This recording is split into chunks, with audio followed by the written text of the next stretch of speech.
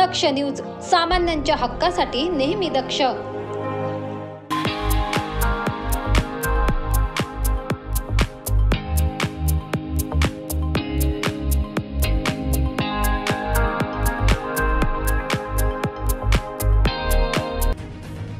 धुळे शहरापासून काही किलोमीटर अंतरावर असलेल्या पुरमेपाडा या ठिकाणी मुंबई आग्रा महामार्गावर तीन वाहनांमध्ये विचित्र अपघात झाला आहे.